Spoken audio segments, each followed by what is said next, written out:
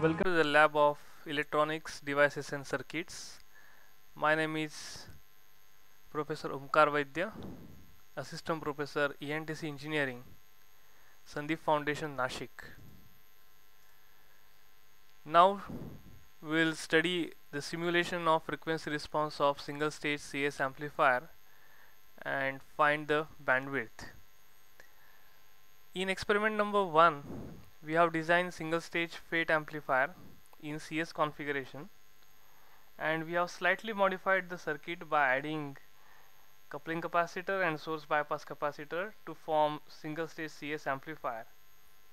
Now we will implement same circuit using certain computer aided tool and realize the electronic circuit in virtual fashion that is called as simulation with the help of software multisim having version 8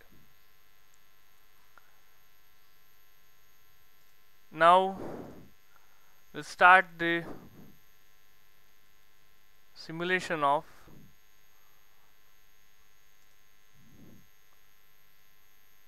frequency response of single stage FET CS amplifier.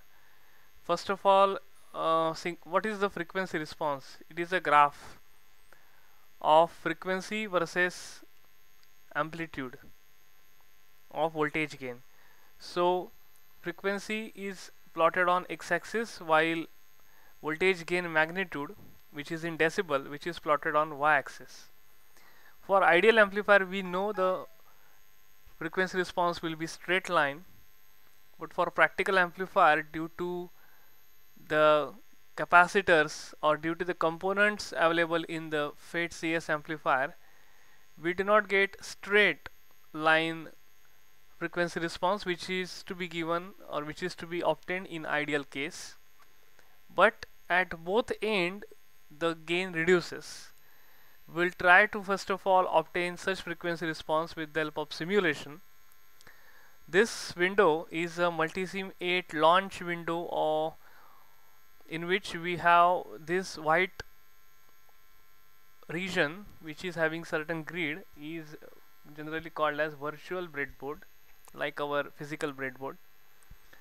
Then we can obtain various electronic components and devices from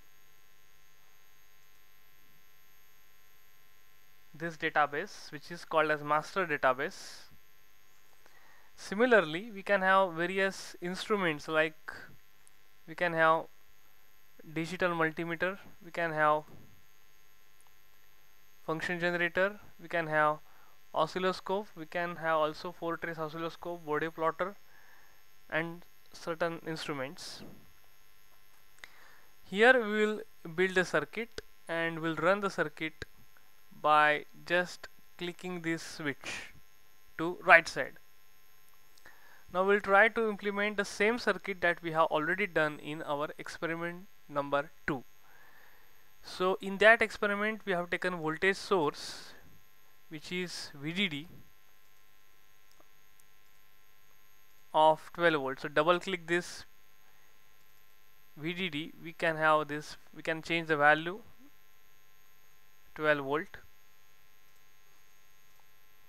then we have resistors like we have 1 kilo ohm resistor you take resistor from this database basic go to basic. Then we have resistor then we have in kilo ohm range we have 1 kilo ohm resistor and there are two types of tolerances 5% and 1% so we'll take 5% tolerances. So we'll take it and we'll drag it onto this virtual breadboard. Then we can take one more resistor which is 2.2 kilo ohm resistor which is RD 1 kilo ohm was RS so this is for RD and we have one more resistor which is of 1 mega ohm which is RG but all resistors are basically vertical vertically implemented. Here are horizontally orientation so we will take we select all and we right click and we can have 90 clockwise. We can have right click and then go and 90 clockwise. Then we'll build the circuit whatever it looks like in our experiment number 2 so we'll try to make circuit as it is as it has been used in experiment number 2 then we use FET which is field effect transistor. So we have to go to transistor section. This is transistor section we want JFET n channel and which is BFW10 here we can have different types of component. So we have to search and we have here BFW10 so we get the BFW10 now. Now you go to this tip of the register at the one of the end of the register. You make left click and you just go to next tip of another voltage source which is VDD so you will get this red line that is nothing but connecting wire. So such a way you have to connect connections between the RD and drain as well as source and RS as well as RG and gate. Now we want capacitor which is uh, there are two capacitor that is coupling capacitor which is of 10 microfarad. So go to basics and we require capacitor and that is electrolytic which is polarized capacitor. So you have to go to POL polarized capacitor which is we require 10 microfarad two capacitors. We can also have same so we can uh, select it and we can have right click copy it paste it. We can have one more capacitor. The orientation the positive terminal is connected to drain is right but here we want positive terminal to gate so right click it uh, make 90 clockwise again right click we again have 90 clockwise. Now we have positive terminal to gate. So connect the positive terminal to gate and it makes a node. So this is called as node and that is very important. Similarly we can have positive terminal to drain side. So it makes a node. So that is very important. Now we want input. So these are the basic component that we have used in our experiment number two now we'll require input. So this is input which is function generator. So function generator there are three output terminals. This is positive. And now this middle one is considered as ground or negative. So do not use the third which is uh, printed here negative. We do not use that one. Okay. Now I want ground. So again go to voltage source. So we have ground G GROUND ground and we can connect here somewhere so that this can be connected like this. And we have to, we have to ensure that this there should be a node. So this is a node. Similarly this middle must be connected to ground. So there here must be node. So 0 is generally uh, a node number. Or if you want to zoom it I can show you how it look like. Just scroll your mouse button then you can able to see properly. But this is now out of my window so I think this will be right. Okay. So this is 1 mega ohm RG this is RS 1 kilo ohm. This is N channel JFET RD 2.2 kilo ohm. VDD 12 volt. CC1 10 microfarad. CC2 also 10 microfarad. We have function generator. Similarly I want source bypass capacitor which is 100 microfarad which is polarized. So you click this and you click OK. But the positive terminal should be connected to this so I should make it vertical so that it look like in parallel with RS so here makes a node and here also you have to make a node. Then I want to see the amplification because my input is small signal and I want output on CRO so here is a CRO so which has two channel A and B. So consider channel A is output and similarly I want to see both uh, waveform at a time so that I want to ensure that the phase shift is 180 degree between input and output. So I will use such a way I will use B channel is connected to again input side because this is input. This is G for ground so is to be connected to this ground. So this ground is common. This is T for trigger but we will not use any triggering uh, circuit so that is uh, we use un that is open unconnected. Now input is uh, I know uh, in experiment number 2 100 millivolt which is so small magnitude that is small signal and 1 kilohertz frequency in sinusoidal waveform. So I will double click this and I have sinusoidal triangular square. I will click sinusoidal.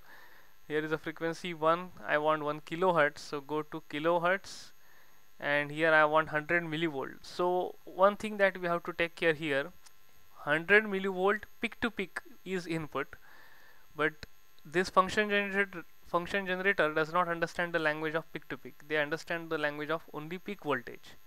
So once we know 100 millivolt that means we want to say 50 millivolt. Okay 100 millivolt peak to peak its peak voltage is just a 50 millivolt. So plus 50 millivolt and minus 50 volt complete is 100 millivolt. So here I will write 50 50 millivolt. I will write millivolt. Okay so I have set input. Now I want to see the frequency response. So to see the frequency response we have to go to simulation for AC analysis. Before that I let you know this is a circuit which has already built in experiment number 2 this is these are the node. Say this is VDD this is node for VDD 0 for ground. 3 for this node. 4 for this node. 1 is this node. And fifth is the output node. This is fifth output node. Now next thing you go to simulate. And then you go to analysis. And in that you go to AC analysis. Now we have one window which is frequency parameter so as we know it is a frequency response. Your x-axis is frequency. So we have to set the frequency from which range to which range frequencies to be the frequency response is to be drawn. So minimum I will say 1 Hertz as it is and maximum I will say 10 gigahertz. Then sweep type because we cannot able to draw this frequency response on single graph paper. So we require semi-log paper so semi-log paper basically works in the principle like they have decades. There are certain ranges of decades. Having number of points per decade is 10. So we know as we have studied in control system. Uh, the next is vertical scale that is a amplitude or unit of your voltage gain. So voltage gain is basically measured in decibel. So that should be dB. So convert to dB. That is a pop-up window now next is next is output. So here are the variables in circuit and I want variables for analysis. The output is my node number 5 these are dollar 2 dollar 3 means they are number dollar uh, sorry that is a node number. So I want node 5 and its output I want to analyze. I don't want this node 1 node 1 is just uh, this one. Okay. We can have this one also because this 5 also because these are outputs but still uh, more correct I will remove it. I will click this I will remove it and I will add this fifth one. So I click here and add here. Okay now I go to simulate button. Now this is your uh, magnitude plot and this is phase angle plot. So we are not interested in phase angle. So click in the phase angle and here is a cut button. So you we will cut this. Okay again we'll select this and I want the background white. So the white background. I want graph so you go to this graph. I want cursors also so you go to this cursor. Now I want to find out this is what we have frequency response of as frequency vary from 1 hertz to 10 gigahertz and this is the gain in decibel of voltage. See this actually your ideal amplifier should have straight line throughout any frequency range but here this is practical amplifier. Your gain reduces at both ends. And in only in mid band region of frequency we have constant uh, voltage uh, voltage gain. Uh, so we'll call it as AV mid. AV is a voltage gain and in mid frequency region. This is low frequency region and this is high frequency region. Okay. So I want to find out what is AV mid. So these are the cursors. And as we vary cursor these are the legends so see the x1 y1 that is related to cursor 1 so x1 y1 is continuously changing. Okay but y1 is not changing because y is the voltage gain. So see the y1 is not changing. Y1 is constant which is 14.4553 here I am talking about. Y1 is 14.4553 so this is called as AV mid. So AV mid is 14.4553 then next thing is very important as compared to mid frequency range in low frequency and high frequency range the power gain reduces 50% okay so power gain is reduces by 50% and if you want to find out power gain in decibel the formula is 10 log to the base 10 of AP if we say 50% reduction in power gain so AP is 50 upon 100 so we can say that 0.5 so if you want to express in decibel I should write 10 log to the base 10 of 0.5 which is minus 3 dB. And that is the reason why we reduces minus 3 dB from this AV mid. So whatever is the AV mid that we obtain that is 14.4553 we take minus minus means near downward. We take minus that is downward 3 dB and we draw one line and that drawing touches this frequency response somewhere here at low frequency region here and high frequency region here. And we trace on x-axis we will get FH in high frequency region as well as in if you trace on that particular point on x-axis we'll get FL which is lower cutoff frequency. So once we find out FH higher cutoff frequency or upper cutoff frequency and lower cutoff frequency we can able to find bandwidth because our ultimate aim is to find bandwidth now we'll try to do these things. I will try to find out FL as we know AV mid is 14.4553 so 14.4553 minus 1 is 11.4553 so now I will reduce this to 11.4553 so we have to continuously stare at y1 so that it becomes 11.4553 okay so it will be approximately I can take 11 point point something so for example here I have got 11.4347 say. Let us see. So right. So that is your this is the point where we can have uh, uh, we can have 3 dB frequency or we can have half power frequency.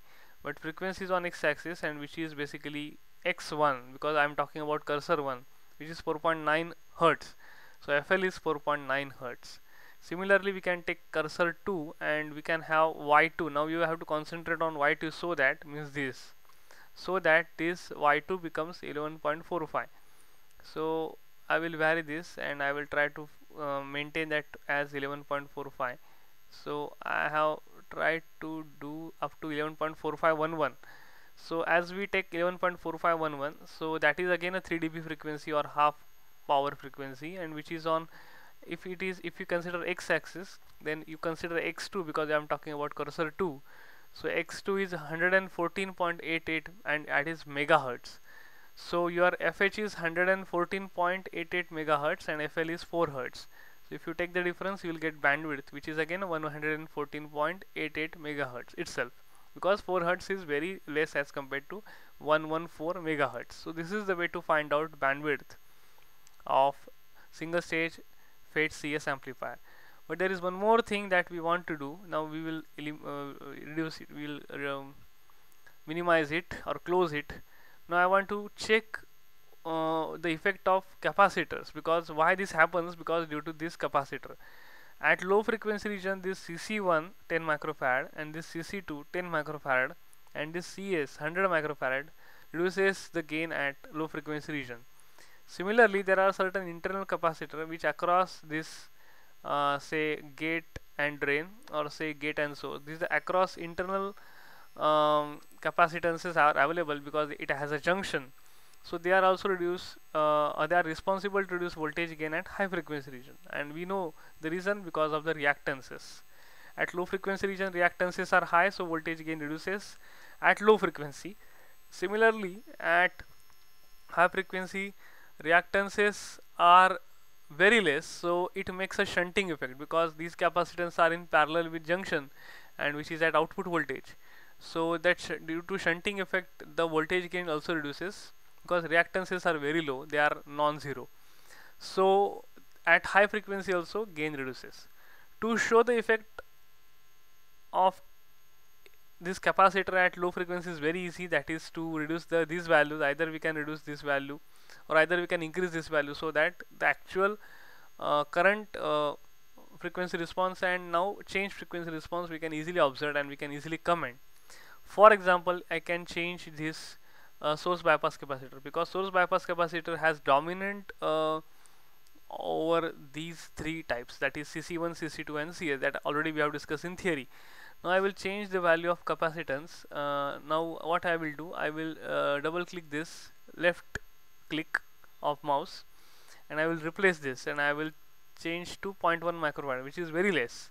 So the reactance is very less so means uh, now um, x is 1 upon 2 pi fc now sorry reactance is high because c is now you are reducing. So across this the reactance is very high. So signal will never prefer this path to flow rather signal will this path to flow and now voltage drop takes place that is the reason basically. Now we want to see all these things again. Go to simulate analysis AC analysis and these things are right output is also right just simulate. And uh, now we'll cut this phase angle plot and now make we make the contrast and now we'll have this grid. And as compared to this diagram or this frequency response previous one see this. In this region we have this much amount of I will uh, cut it. I will cut this now I will compare this. See this reduction in gain at uh, low frequency region. So this is the effect of reduction in gain at low frequency region. Okay. And now similarly so FL definitely will be reduced. So as FL is increased sorry as FL is increased so your uh, basically bandwidth is also reduced.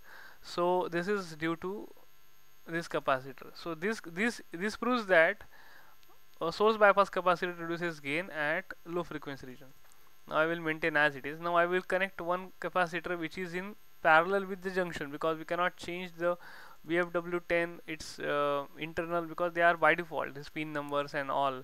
These values are default. So we cannot change these values of capacitances. Rather we cannot change for any physical uh, JFET capacitances because they are internally fixed. Now to show rather I want to I will use certain capacitor which is not polarized which is non-polarized. So I will go to basic and now I will take capacitor which is non-polarized which is ceramic say. Now I will take very less value. For example I will take 3.3 nanofarad say. So you okay and you make at output. So you make it vertical and at output connect here and with respect to ground. Okay so now it is called as external capacitor or shunt capacitor with respect to the output voltage and now we'll see the effect on frequency response especially at high frequency. Now go to same stage AC analysis. Uh, this is right output is also right. Go to simulate and this cut this will become contrast this will become grid. So as compared to this previous diagram see this as compared to this diagram this diagram at high frequency region gain reduces dramatically so that is the reason why we use shunt capacitor or external capacitor which is used across a load uh, gain reduces at high frequency. This is due to shunting effect because they are connected parallel in output. So this is uh, what about our experiment? Frequency response of single stage CS amplifier and bandwidth. So this is the way to find out bandwidth